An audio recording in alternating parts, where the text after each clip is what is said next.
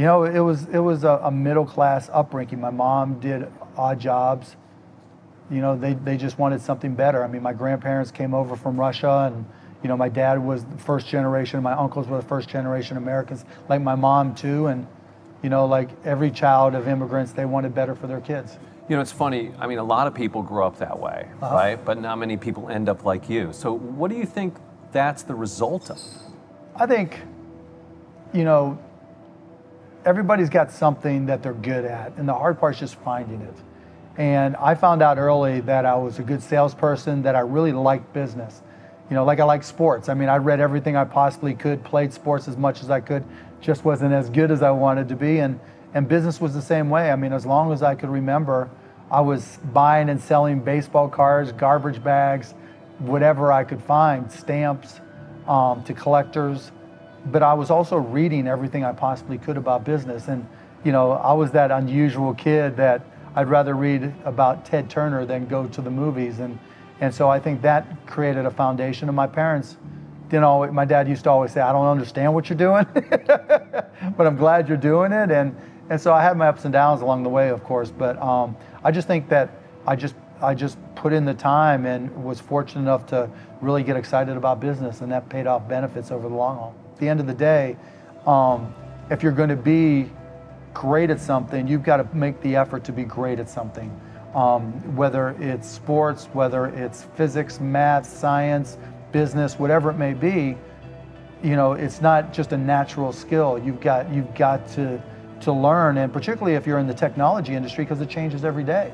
You know, when I got started in in you know, after I got, I, I got, a, was a bartender when I first came to Dallas, got into the PC industry, got fired, started my own company. But there, I learned early on that there was always something new.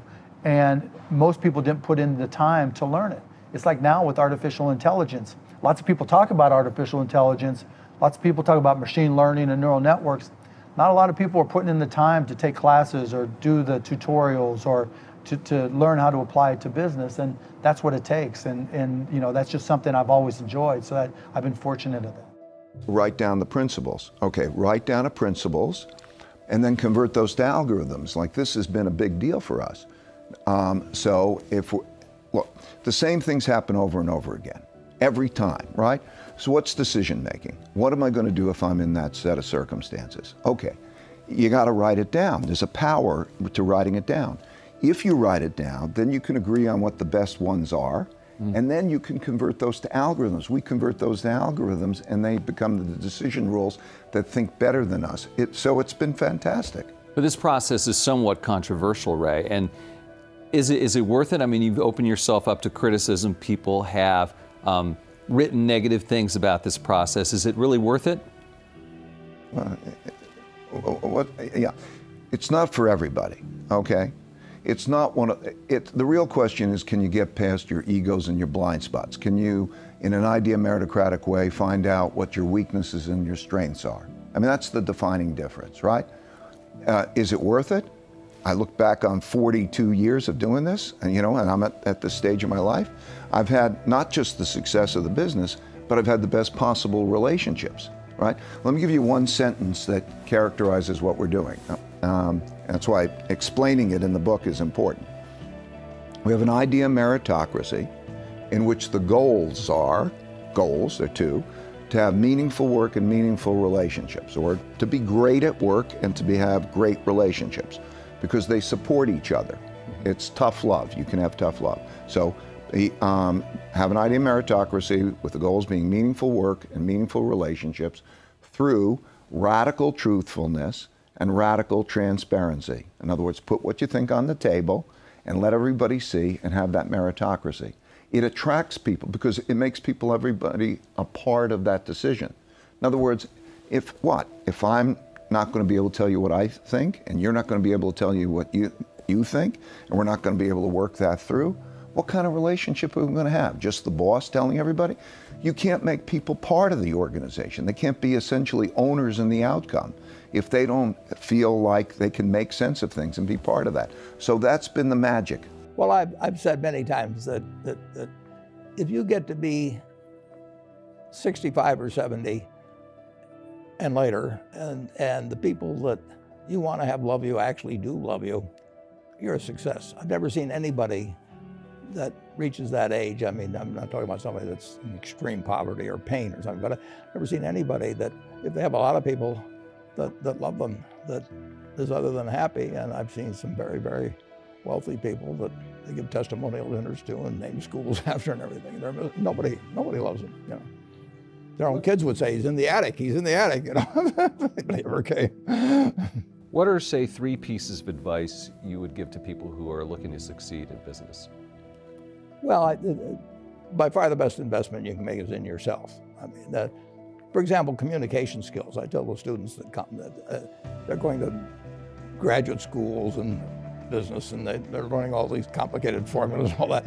If they just learn to communicate better, both in writing and in person, they increase their value at least 50%. You know, I mean, it, it, uh, if you can't communicate, somebody says, you know, it's like winking at a girl in the dark. Nothing happens, you know, basically. And, and you have to be able to get, get forth your ideas. And, uh, and that's, that's relatively easy. I did it myself with the Dale Carnegie course. Some people wish I'd taken a shorter course now in terms of my talking later on.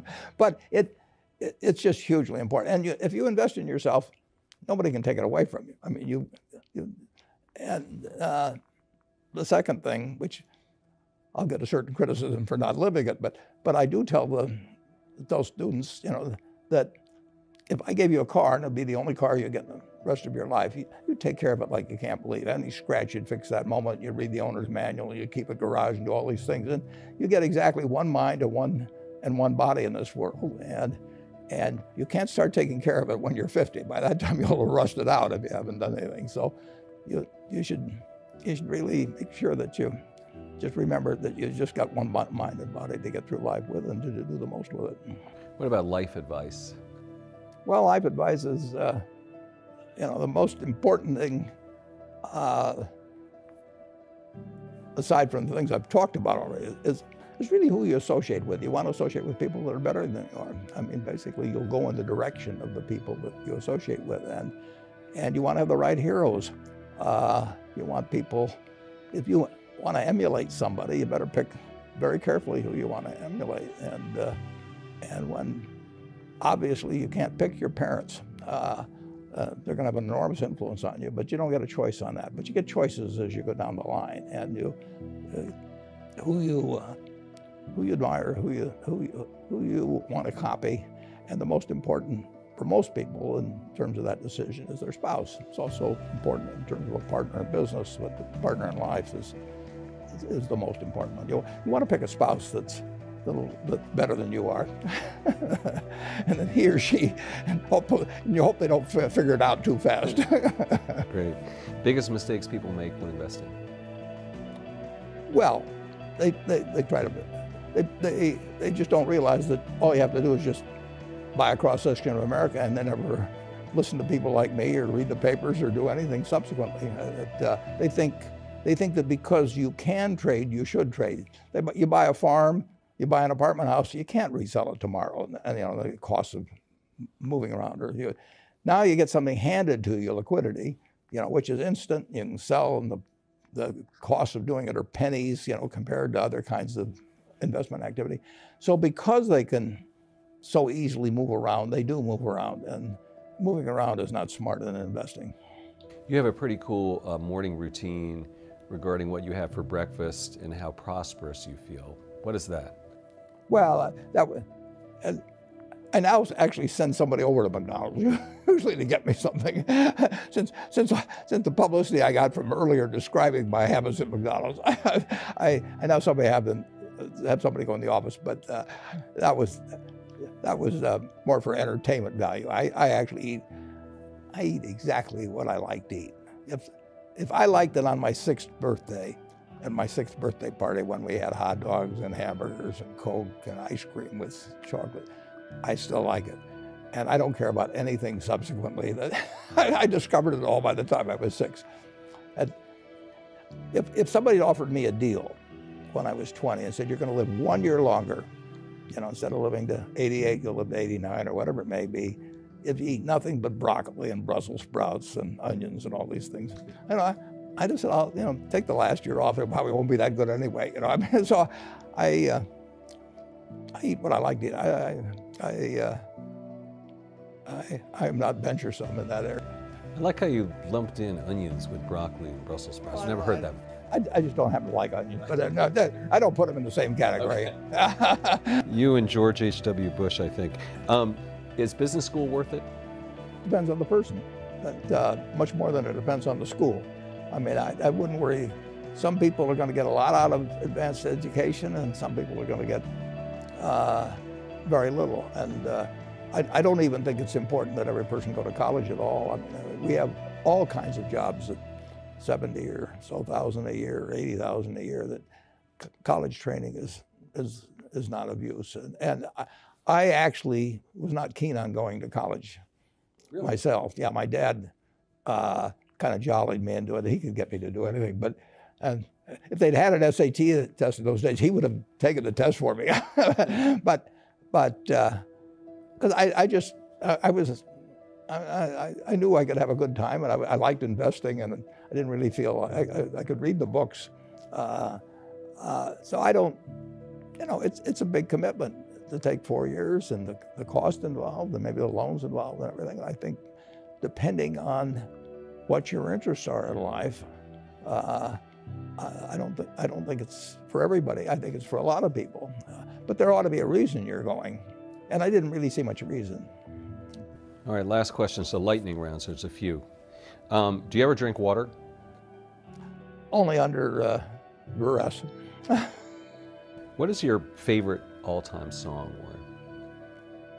Uh, it, it's undoubtedly it's my way. What about movie? Favorite movie? Well, I like The Bridge on the River Kwai because of the, the there were a lot of lessons in that. Plus, it was uh, you know enormously fascinating.